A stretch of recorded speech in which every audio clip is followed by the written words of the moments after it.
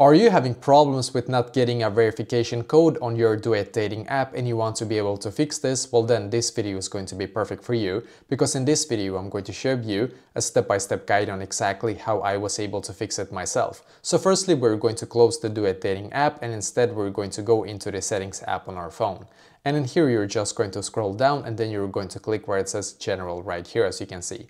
And on this page just scroll down and then click on storage. And now you will be able to see all of the apps down here that you have on your phone but we're just going to swipe up like this and click on search instead and then search for Duet here and click on the app. Now click on offload app and once again click on offload app and here as you can see now we're just going to simply wait a couple of seconds for this page to load and then click on the reinstall app button. So now just wait for it to load and when it's done you're going to go back to the app and try once again.